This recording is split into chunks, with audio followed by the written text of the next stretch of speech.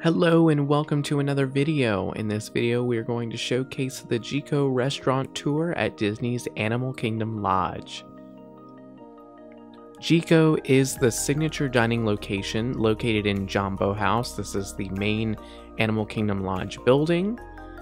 And I will let you know that there is a dress code for this location. So if you are planning on dining at this location while you're on vacation, be sure to bring uh, some casual clothing.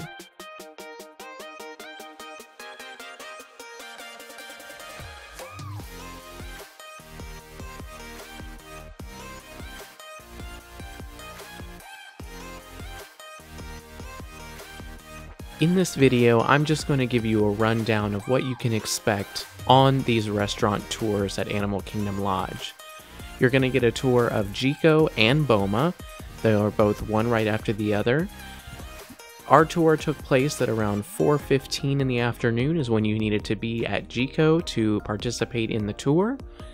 And you do get a little appetizer or a snack at each location when you are touring.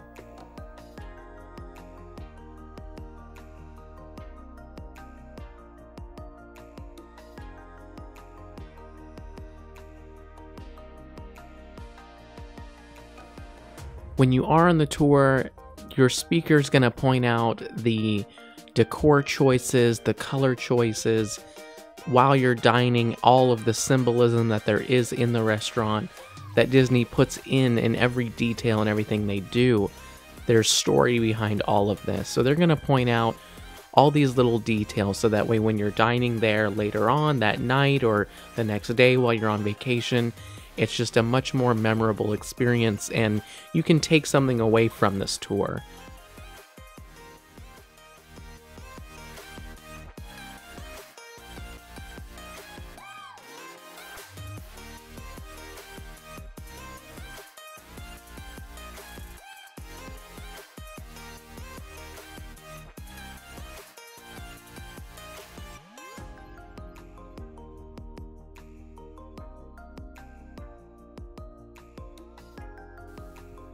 So Jiko actually comes from the African uh, Swahili language term, which means a cooking place. Thus, it is called Jiko, the cooking place. But it actually comes from something called Jikos, which is like a pot or uh, something that you would burn wood or coals in that generates the heat.